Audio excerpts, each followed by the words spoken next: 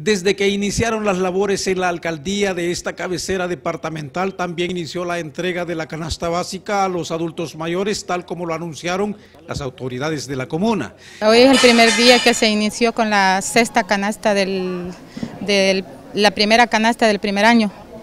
Eh, estamos siempre dándole seguimiento a los proyectos del señor alcalde electo por el pueblo, Cristóbal Benítez.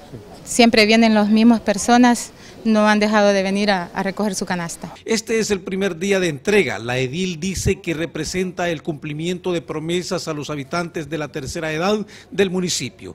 En caso de que se mueren, pues algunos quedan beneficiados los, los familiares y como decimos, depende de la familia. Lleva arroz, frijoles, aceite, azúcar, maseca. Los abuelitos satisfechos con su dotación se refirieron con agradecimiento. Estamos recibiendo la canasta de alimentos, ¿cómo es? De, de alimentos, va. Gracias a Dios que los están dando este alimentillo y... Pues no sé todavía, pero la comidita sí es. Comidita. Sí. Fíjese que con esto le ayudan bastante. Bastante, bastante, más que estamos algo.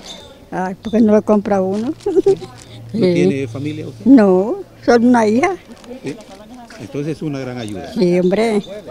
No, me siento feliz con esta ayuda, porque esta es una gran ayuda esto. Sí.